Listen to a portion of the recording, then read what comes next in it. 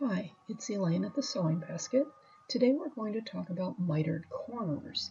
We're going to start by marking our project and going on from there. I like to use the Seams Right tool. It's a Nancy Zieman product. It has all different measurements around each corner and I'm going to be using the quarter inch. I want to mark a quarter inch in on all four corners. So I'm going to just line this up, put a dot in each location, and I'm lining up this green line and that edge. And the same thing here.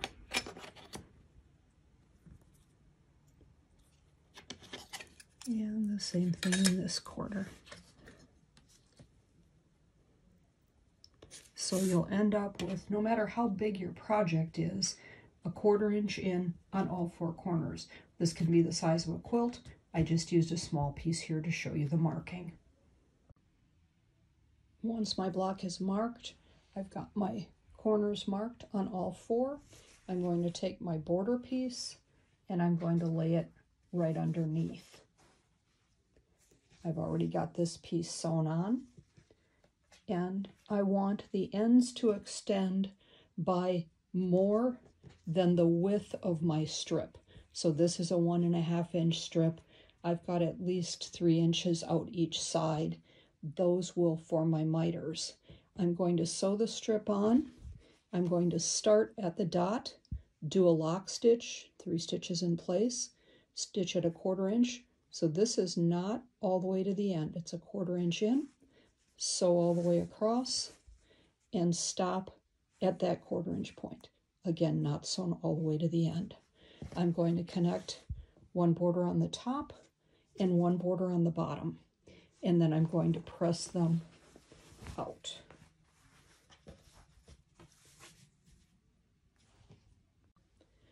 I have my block with my two borders on each side pressed out.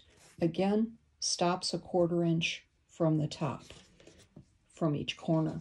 Then I'm going to take my next strip, and I like to work from the back so I can see my dots, obviously. And I'm going to lay this piece down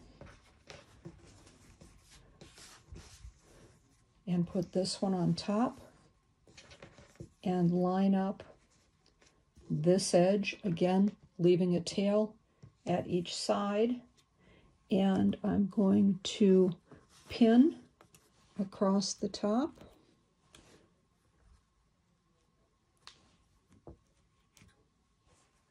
And I would use a few more pins than this, but I don't want to waste a lot of your time. Oop. And pin. And then I am going to sew from, pull this out of the way so nothing is stitched over. I've got my corner. You can see my quarter inch. I'm lining that up. I'm going to start sewing at the dot all the way across, and I'm going to stop at the dot on this side. When I go to sew my pieces together, this is my first border that was attached, just sewn to here. Now I'm sewing my next border on. This is lined up along this edge, again with a tail at each side. I'm starting right at the dot, and I'm going to line that up and just see where that, yeah, I want that needle to drop right into the blue dot that I marked. I'm going to do a lock stitch, three stitches in place, and then I'm going to stitch my quarter inch seam. And I'm going to go all the way across and I'm going to stop at this end again right on that blue dot and I'm going to do a lock stitch right there so that these are not connected but they start and stop right at those blue dots. Once that's sewn, it's going to look like this. You have your two tails coming out and they're both sewn up to that dot. This one is sewn to here. and this one is sewn to there. So I've got that quarter inch in there. Okay. And then I'm going to press this open. Once my four borders are attached, I need a marking tool that I can see on my fabric and a small ruler that has a diagonal line through it. So I'm ready to go and you do the same thing on all four corners. This gets folded diagonally. I'm lining up this, the two borders with each other and I'm laying these extending flaps out straight. And I want to be sure that they're lined up nice and even. And what we're going to do is draw a line extending this angle out into the seam allowance.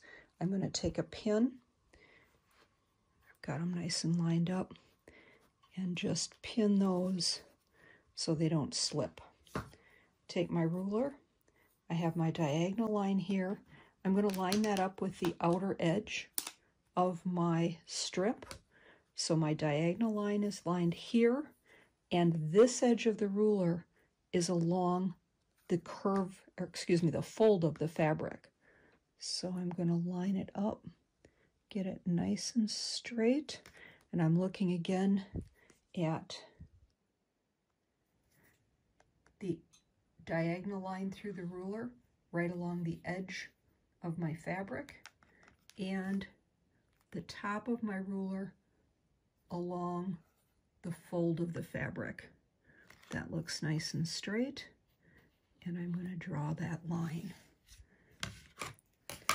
And that, put one more pin in on this side. I'll hold it up so you can see it. So this is now my stitch line. I'm going to start right at this point and stitch across and do a lock stitch. And when I open that up, that's going to be my miter. So I'm at the sewing machine. I switched to an open toe embroidery foot. Um, stitch with your regular foot. I put this on so you can see where I'm dropping the needle. I wanted you to be able to get a real clear view of that. So here we are with our line marked right across here and this is my stitch point. When I go to stitch, I want to fold these seam allowances up and that spot in there is what I want to connect to. So I'm going to fold them up this way and I want to start my stitching right where this stitching ends. So I'm going to line up right there where I can see that stitch. And I'm going to plant my needle and I'm going to stitch along this blue line. So put my foot down and do a lock stitch. So that stitch is starting exactly where the stitch in here stopped. And I'm going to come across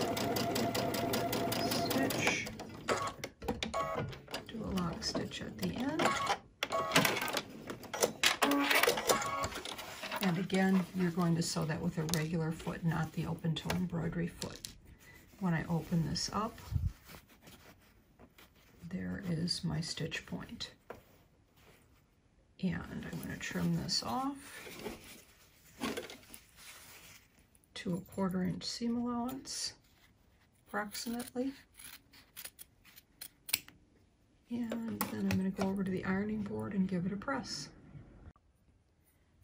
The final thing to check is to make sure that your corners are square. When you do that angle, sometimes you can be off by just a little bit. So what I'm going to do is take my ruler. I've got my dotted line here that I can line up on my stitching.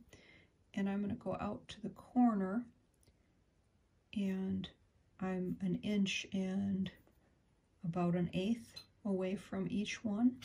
I'm lining up my outer edge here and here, and you can see I'm off by just the littlest bit, but that will throw my corners off. So I'm going to just clean that up.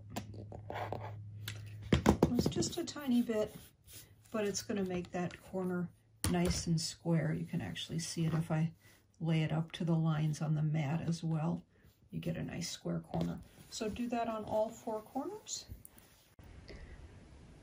Once your corners are squared up, you're ready to go. Either add your binding or another border or cornerstones, whatever you choose. Thanks, hope you enjoyed this video.